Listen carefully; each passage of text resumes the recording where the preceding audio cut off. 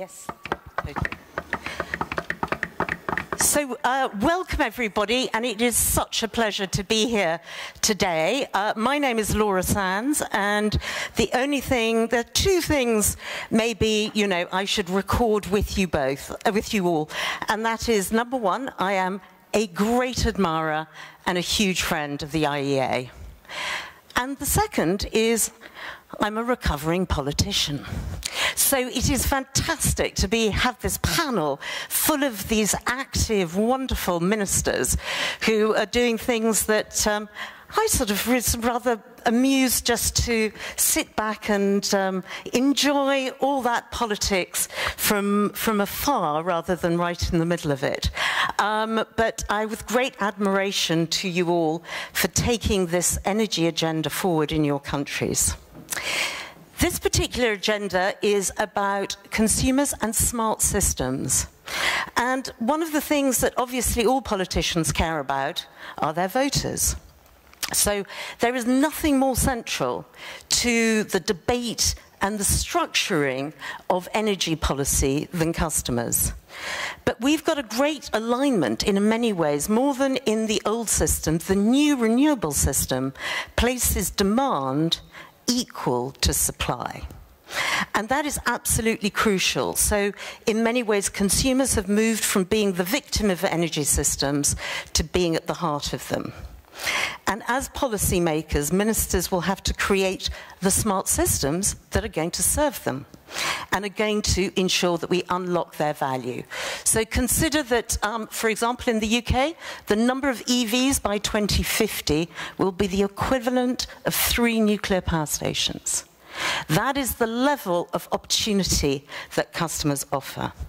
And for those who weren't here yesterday, we had the most fantastic conference, which was looking at the digitally driven demand side energy system. And the IEA have published an excellent report. So, really, I would urge you to um, have a look at that um, as soon as possible. But we're here to listen to this amazing array of ministers um, who are taking forward their country's agendas and driving forward change. So I'm really going to open this up um, and ask each of them a, a, an opening question, but like with all people and with all people with strong views, I'm sure we will all end up going a little bit off piece to sort of really dig into what each other are saying and learning from each other. So if I can start off with Inga, the Vice Minister for, of Energy from Lithuania, um, with a very exciting uh, role that you have. But I just wanted to understand a little more about where you felt the role of policy and regulation is to drive a sort of digitally enabled um, energy efficiency um, system. It's a great pleasure to attend this very important meeting because energy efficiency is the first. The greenest energy is the energy which we don't use.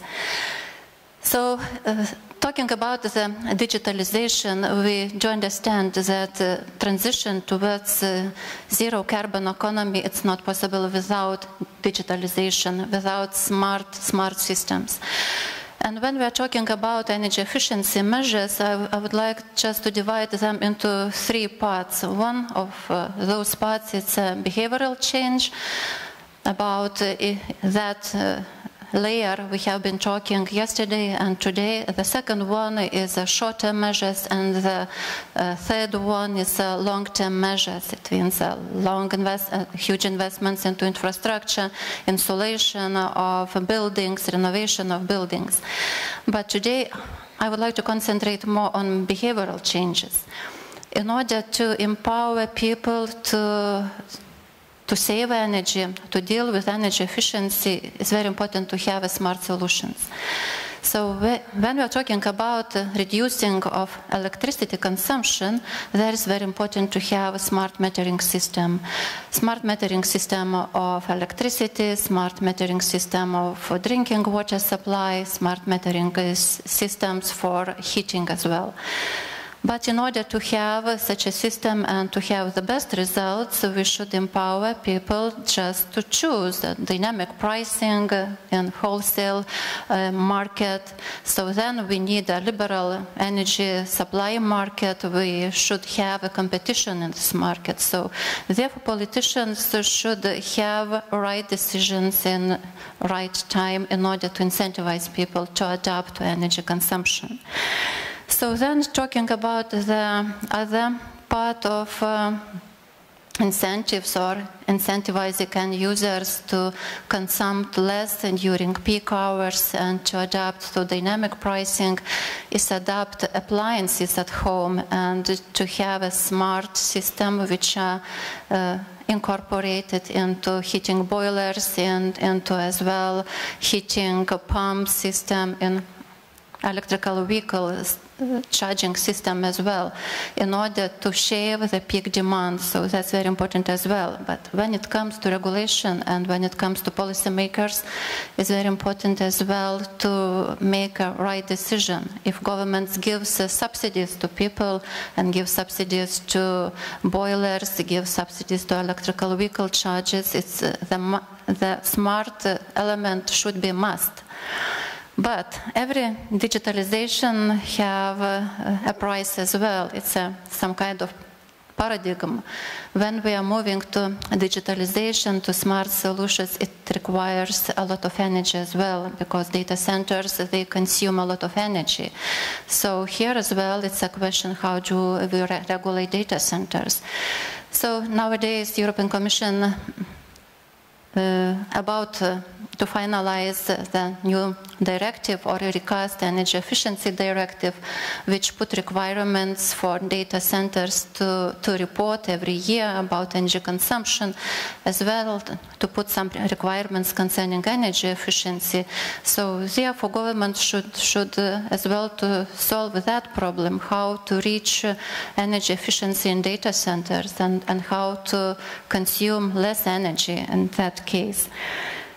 So therefore, it's a very huge uh, question for the governments how to solve that paradigm, digitalization versus energy consumption. Thank you very much indeed. And I mean, in many ways, the Baltics has also got as very, very digitally minded policies that have been in place much, much longer than, than many other countries. And um, so it's a, a, very, very exciting road that you're going on, but definitely uh, pushing the agenda forward in Europe. Ronnie Rodriguez, uh, Vice Minister of Environment and Energy of Costa Rica.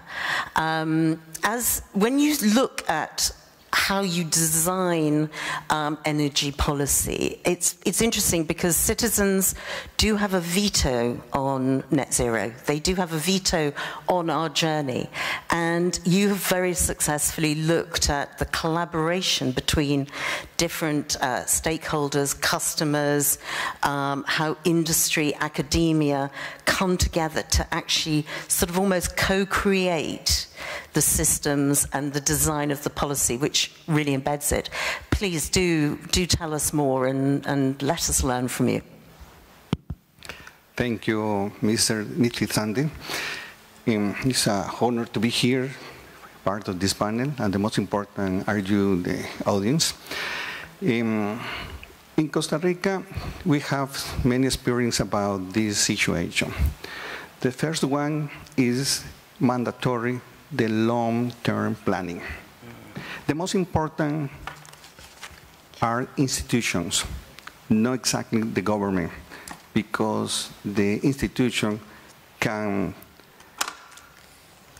keep the rules in order to apply the public policies. But the public policies must involve all the sectors private sector, government, academia, but the most important the, are the consumers because inefficiency in the previous stage is a path-through to the cost of the consumer.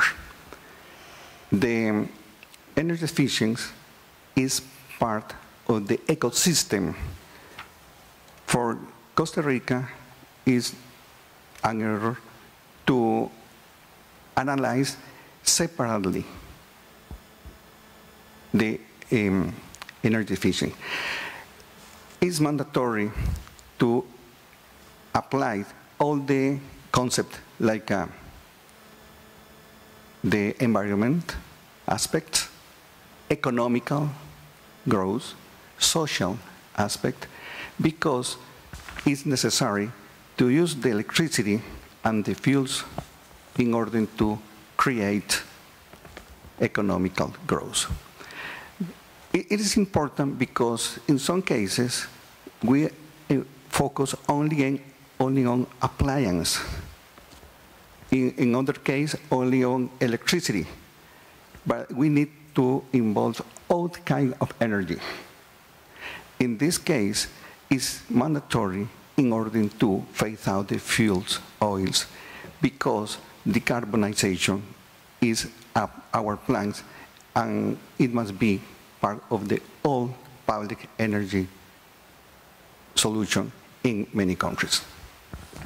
Thank you very much. And that whole issue about placing consumers, voters, customers absolutely at the heart is, is really, really important. And I think sometimes the energy sector has sort of rather ignored the customer. So um, it's very interesting, your approach to co-creation. Thank you. Uh, William, who Deputy Minister of Energy and Member of Parliament in Ghana. Um, globally, there is a great diversity in terms of innovation of smart energy efficiency initiatives. Um, yesterday, one of our conference meetings, there was a conversation around how certain countries can actually leapfrog what, um, let's say, older incumbent system design is. Um, and I'm just wondering whether you can tell us what's happening in Ghana and how you're looking at smart energy um, initiatives and the innovation um, required.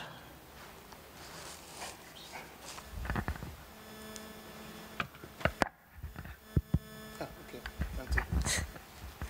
you very much, madam. He doesn't like me. What is this? You're okay. Yes, thank you. Thank you very much. Um, we're very pleased to be here, and um, good afternoon to everybody here. Um, Ghana, we've had some challenges.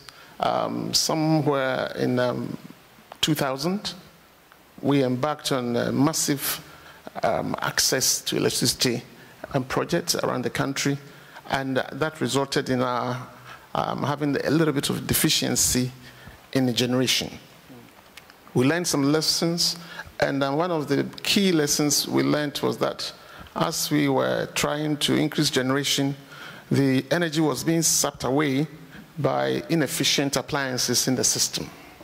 Um, so that was uh, identified, and um, we embarked on um, the road to energy efficiency.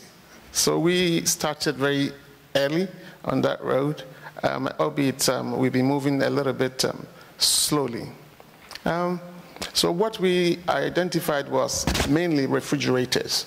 So we identified refrigerators, lamps, and air conditioners, and then we brought out regulations to control the efficiency, the influx and standards and labeling. Um, so that's what we did.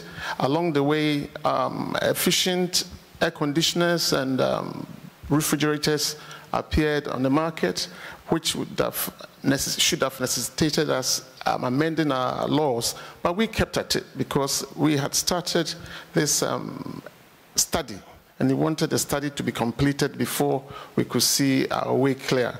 So somewhere around 2005, we had completed the study and um, realized that alone, the refrigeration and um, lamps alone were taking something around a thousand megawatts of um, power that um, was being wasted within the, the, the system.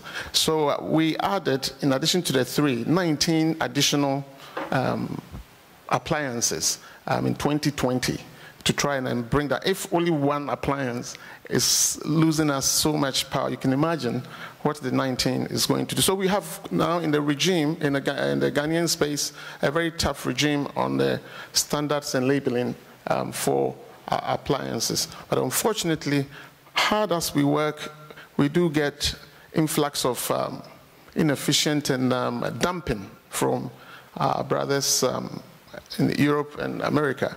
Um, we still find uh, appearing in the system inefficient, old, discarded um, appliances still finding their way into the uh, Ghana space. So we're working very, very hard at it, and um, some of the things that we have done to try and um, um, be efficient or have an efficient system is um, at the time when um, we realized that um, incandescent lamps were not the best way to go.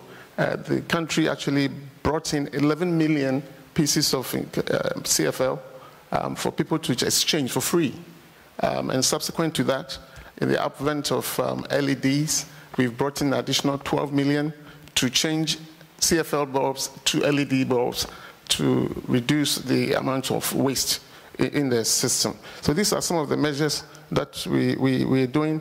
And as a result of um, some of these measures, we have calculated that we saved something like 6.3 billion tons of CO2, Ghana um, alone.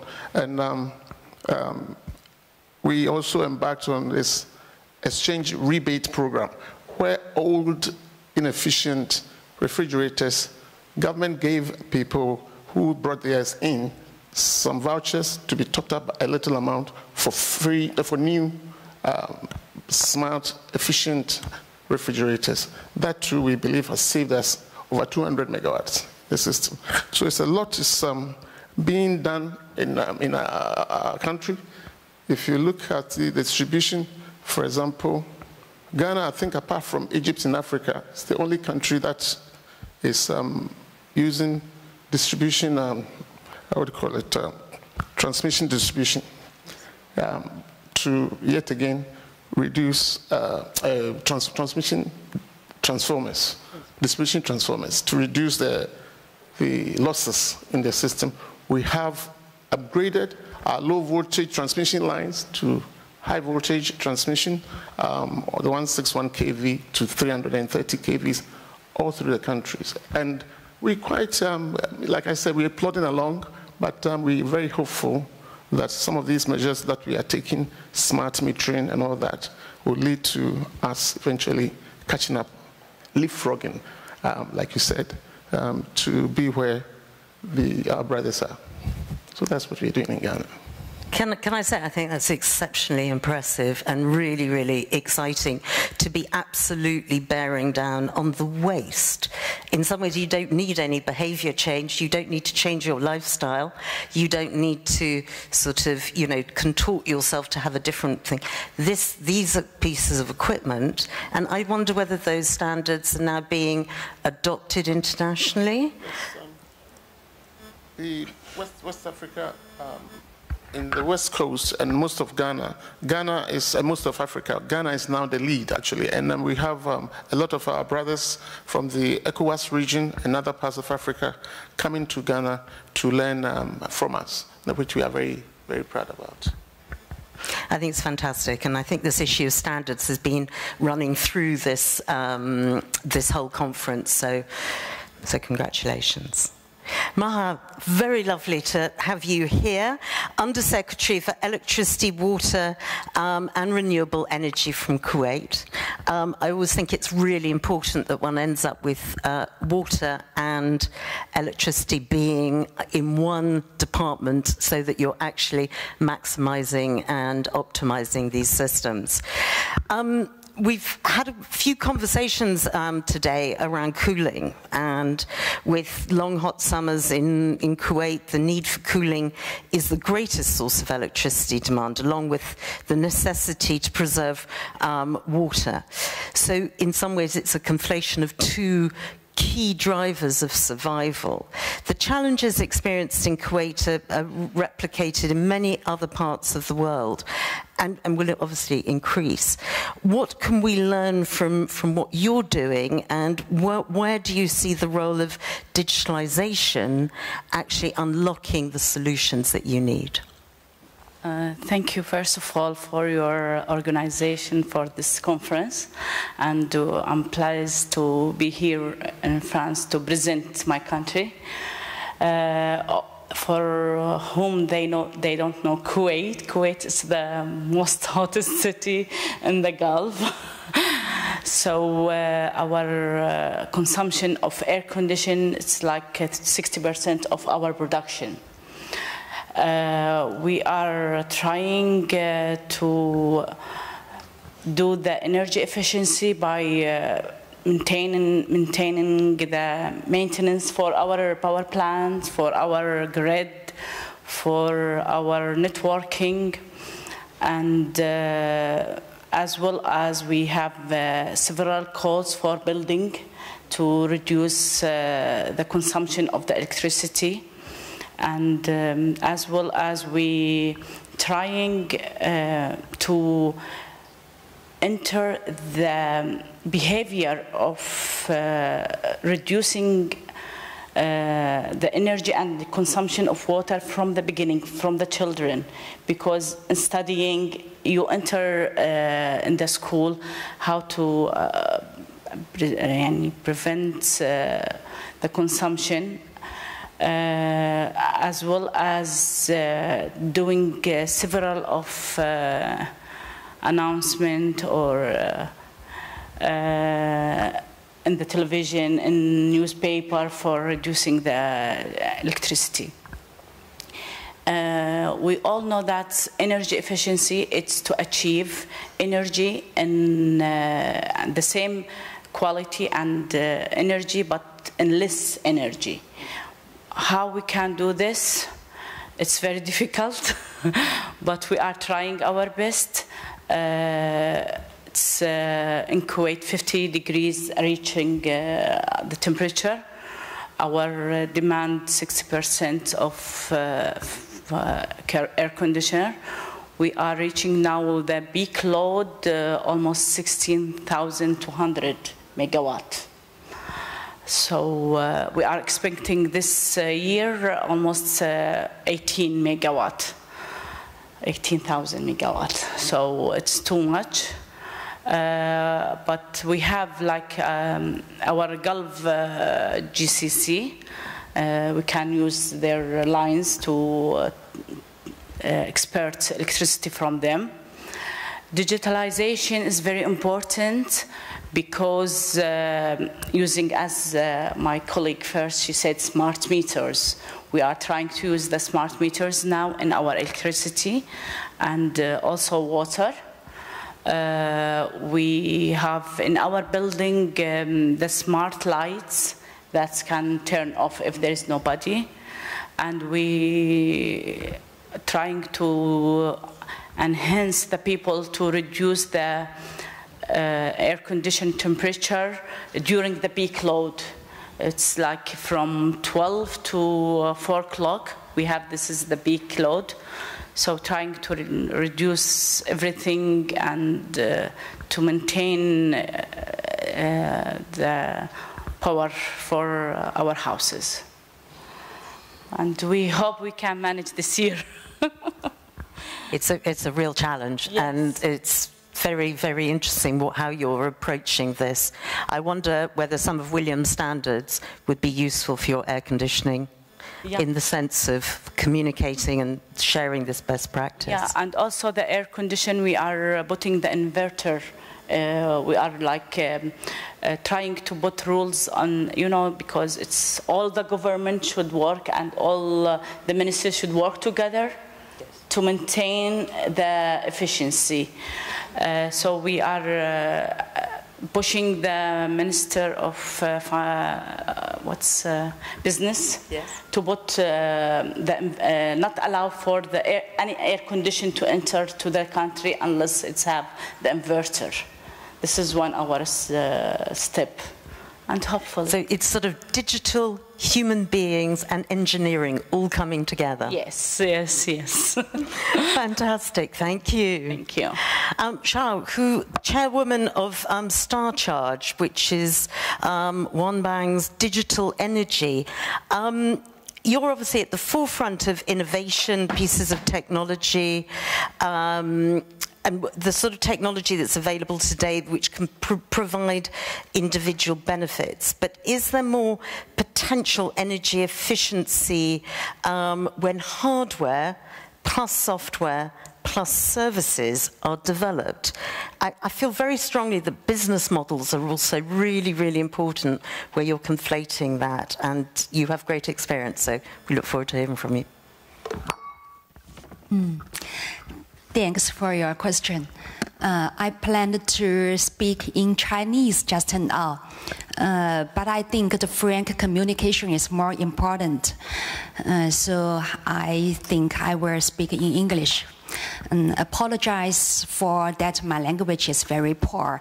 Uh, I will try my best to describe my opinion clearly. Um, Star Charge is the biggest CPO in China. And we have built a biggest network in China. In our uh, cloud plat uh, platform, um, more than nearly 2 million charger poles has, is working uh, on our platform. And uh, we have hardware, our hardware including the charger, charger, mm, the battery, the storage, home storage, and uh, CNI storages. Uh, and we have the converter, and we have the uh, energy looter. So our product is the smart microgrid. The charging station is a special microgrid. The home is a microgrid. We named HEMS, Home EMS. The charging station is charging EMS, so we call it SAMS. The building is building EMS, so we call it BAMS. The com commercial and the city is a smart grid, so we call them SAMs. We have so many EMS and so many smart grids uh, smart microgrids. But I think the platform is the soul, is the soul. Mm, it's very, very important. Without a platform, every hardware and every, every um, micro grid will separate. They are not smart and they don't can trading. They don't can share to other grid. So I think the platform very, very important. We have more than 1,000 engineers to develop these products, especially in software. We have more than 500 uh, software engineers. Now, every year, uh, we, we are engaged more and more uh, software engineer to develop this platform. In our app, it named the StarCharge app, more than 1,000 user is using, uh, are using it. And uh, our platform is very open. We can open our facility to other CPOs. More than 1,000 CPOs connect and working on our platform. And our platform can help them to improve the e operating efficiency. Uh, we help them to earn more profit. So you, with this platform, especially very, very smart and wisdom platform, our hardware is more popular uh, we get the number one sales performance in China, and uh, we export our hardware to Europe and Asia. because our platform very very smart so i think we know what is the software define the hardware the software is the digital but it's not enough we first we do every charger is smart and then the charging station is smart. And every building is smart. Every factory, every commercial, every, every city, every country, and uh, the whole human, the whole, whole world can connect with one website. And this web is very open, and this web can share your electricity because we do how to trading. We should know every country's policy, the trading policy, the electricity policy. And we should know how to improve the charging stations, the CPO's efficiency. So we should know where to construct, where need a new charging station. And we know how to price, which price is a correct price. This, this details a lot, a lot, a lot. So I can't mm, talk more in just five minutes. Even uh, every every day, uh, a lot of countries' customer come to our company, uh, including Volkswagen, BMW, uh, Mercedes-Benz, and a lot, a lot, a lot of, a lot of OEMs and energy companies. We show our platform. Uh, with our platform and hardware and our service, service including trading and the CPO business, and uh, warranty um, and uh, installation um, we, we can know every pain point because we do the whole value chain. So every pain point we can feel very, very clearly. We, we, we want to cover it, solve it, solve it by technology. Uh, very welcome you to Star Charge. Uh, we have our office in Germany, uh, and in our business has more than six countries. Not a charger, but also the mm, every microgrids. Thanks. Can I just say your English is absolutely fantastic. So thank you so much. And it's a very important point this. This isn't about software or hardware or services. It is about that integration and delivering a customer focused um, and also very interesting about your analytics where you're constantly learning and refining the proposition through actual sort of deployment. And the energy sector is very into pilots and into testing things. Actually, we've got to go out there and do stuff, and then that's how we're going to really learn.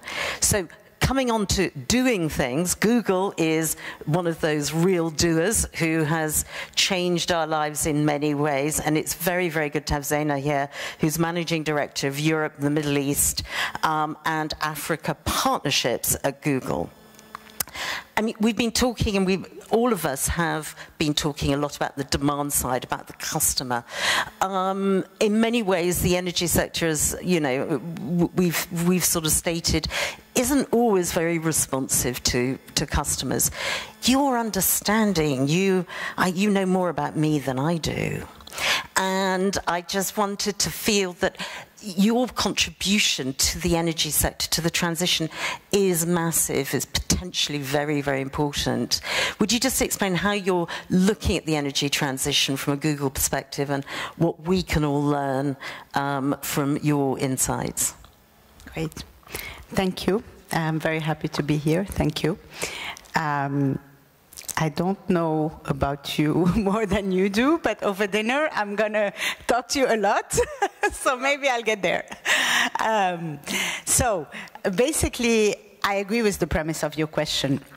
And we do need to inform consumers so they make sustainable choices. Um, and, and we, do, we also need to do it in their homes. Uh, at Google, we have three pillars. The first one is informing consumers, bringing them the right information so they can make sustainable choices. The second one is our own, how do we, uh, basically our own backyard, how do we have our campuses, data centers, offices operate efficiently. And the third one is partnering with governments, with agencies, with cities to also help them achieve uh, their sustainability goals. Um, here with the um, IEA, we have worked, for example, last year uh, when the energy crisis happened um, on giving users energy advice or tips on how to save energy on google.com, on Google Search. Uh, so these were tips that were uh, done in partnership with the IEA, um, how they can save daily energy, but also what kind of grants are available, what's encouraged, for example, changing heat pumps and so on. Uh, and that was a very effective uh, partnership and an example of how we address uh, pillar one. Um, talking about Google, we have a very ambitious goal. We want that by 2030, we are operating um, in, a in a clean energy state. 24-7 all the time. That means our offices, data centers, and so on um, are all operating um, with clean energy. That means every email you send, every YouTube video you watch, by then will be uh, supported by clean energy, or at least that's the ambitious um, goal. Um, also, when we build data centers, we want them to be very efficient. Um, Today, our data centers are uh, twice as efficient as a uh, typical data center. We've also worked a lot on this in the past. Um, and uh, today, um, you, you, we can have five times more computer um, power basically from a data center with the same electricity as five years ago. So that's the advancement on this side. And then finally, um, helping government, governments, users, city. I'll take two examples. Uh, one is with UPS. Uh, so we've partners, we've partnered with UPS, um, or Google Cloud partnered with UPS, so that they can use AI to design uh, their routing, the routing of their vans, um, and to reduce emissions to, and to use less fuel. The outcome, it was a saving of 10 million gallons of fuel a year. Um, another example, there's a project called um, Project Greenlight, and this is where we actually partner with cities and we give them data on traffic light and how cars stop and start at traffic lights. And then we give this data and the cities can have their city engineers redesign traffic lights so that cars stop less and that there is less emissions. Uh, and we've seen significant reduction in emission and stop and start and air quality um, in certain cities uh, like Budapest or Haifa or just now we are um, launching in Hamburg. So these are the examples of how uh, we are addressing the agenda. I think it's very exciting. And what is particularly interesting is the energy sector is, is in many ways extending itself into transport, into data and digitalization, into how to manage the water system. We are moving into becoming integral to lots of other sectors. Um, we have only a few minutes left, and I wanted to ask the panel to comment on each other and say, what, from listening to all these extraordinary examples, which one are you going to take from somebody else back to your um, to your country, to your company, um, that you feel you've learned? Because there's just so much rich ideas and thinking. Um, I'm, you know, really finding this conference extraordinary from the point of view of learning. So, Inga, um, name name your winner. This isn't the Eurovision Song Contest, but okay, what are the you. things that you've learned? Thank you, Chair. I suppose that the most, the, the, most important message today is that we need data. We need data in order Absolutely. to make a right policy decision, in order to give the information for investors where to invest, how to invest. So therefore, it's very important to open data, which are possible to open to the society, for the industry as well, and open data for, for municipalities as well, because municipalities they are important to make decision concerning the energy efficiency, development of renewables in the sector. And here it's very important to give them a message how much they agree and how much energy did they save. So therefore it's very open to have a publicly available data, you know, scoreboard, how much energy one or other municipality saved. Then we have a competition element. It means that we push each other to be more efficient, to, to be more green. So therefore open data, interactive maps might be some interactive information for the municipalities to the government involvement and open data. So that's a crucial element in order to be efficient and green. So thank you for your attention. Thank you, Inga. Ollie. In the new generation belong to the digital culture. It's easier for them to incorporate these ideas. So uh, we need to take advantage in order to implement the smart system, smart cities, smart building, and everything.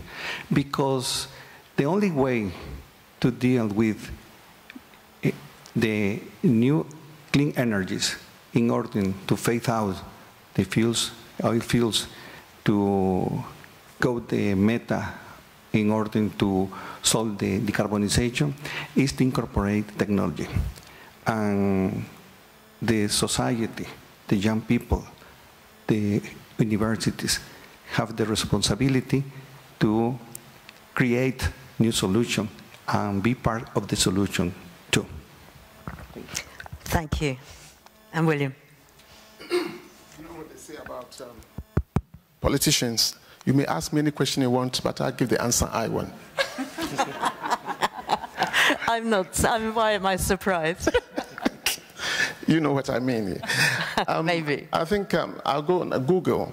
A Ghana a government through the Energy Commission of Ghana, we've um, set up this app um, that links the, that's part of the drive for efficiency, that links the buyer and the seller together for appliances. Um, it gives you through the Google map the address, the telephone number of um, the seller so that you can go and get it. And through this app, we can verify um, using the STAR system whether indeed the equipment you bought is the genuine um, item. Um, so we, we, Google and we, I think we need to deepen it a little bit. But I would also like to use this um, platform to let the whole world know that this drive for efficiency, as far, as far as African countries are concerned, Ghana in particular, my country, and other African countries, that is a shared responsibility. It really is. Um, this afternoon during lunch, I was talking to the Commissioner for Energy, uh, African Union, and um, we talked about this um, shared responsibility. The dumping, um, I, I, I, touched on it, and I'd like to actually put a little bit more ink in it. The dumping of these inefficient um, equipment, appliances in African countries, the, it goes to affect this energy transition that we are, the, the, reduction in carbon emissions and all that, it's going to affect all of us. So we need to see it as a shared responsibility for all of us to work together um, it was mentioned that these um, factories need to be sited in Africa so that we can factories for production of appliances to be sited in Africa so that we can have more control on the quality of equipment or the appliance that's churned out. But the problem is, most of these um, investors, they come to Africa and what they see is the proliferation of um, inefficient, used um, appliances being dumped in Africa. So if they were to put up their factories in Africa, there will still be this disadvantage because of our low level of incomes. People will naturally gravitate towards cheap, inefficient stuff. So we need, from the side of um, the Europeans, Americans, um, to do their bit to stop the manufacture and export of inefficient um, appliances to Africa, whilst we are doing our bit. I think that's a very, very clear message, and, and thank you for that. And I didn't recognize that that was happening, so very important. I, what have you learned? Uh, I would like to, William, how he managed uh, the... Not to answer the question. no, I want to know how they manage the air conditioner uh, yes. consumption. And uh, from Google, uh, we recently have an agreement with Google, a service agreement uh, to, for, for IT. So I have to.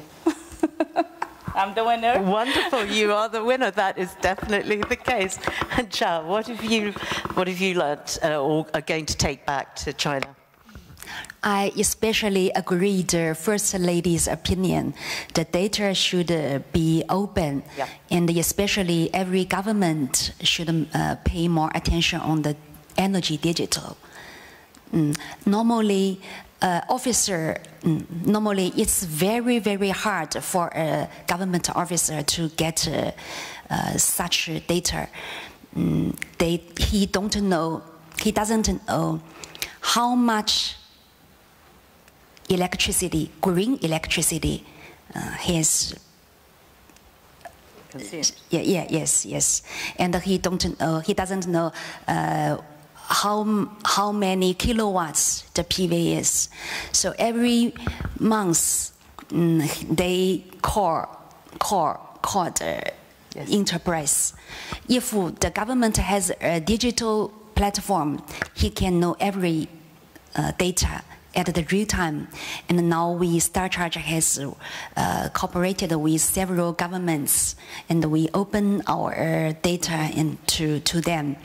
I think it's very important. I totally agree, and very much uh, UK government's policy is presumed open all energy data. Zena, our finale. Thank you. Um, so for me, most, a lot of you told good stories on that, and I think William and Maha in particular, um, whether you are facing a challenging time, i.e., you know, in the two, what you talked about in the 2000, you have to keep going, you have to make the change happen, or if it's a geographical challenge like in Kuwait where it's very hot because both of you or both of your governments could have decided to say well this is how it is you know economy doesn't allow it weather doesn't allow it but I think what I really admired in your stories is the fact that you actually did something about it. So thank you. And that's what this conference is all about. Thank you for that finale because it is about doing something um, about and really taking next steps tomorrow, not the day after. Um, we've had a huge range of different um, approaches, all of which actually all build the digital, energy efficient um, system of the future. Uh, from standards, engineering, behavior change, long-term policy, really important, um, hardware working with services, and all empowered and enabled by digitalization. And never ever forget that the customer comes first. Thank you all so much. Fantastic panel. Um, and um, I think it's time for a break now. Thank, Thank you. you.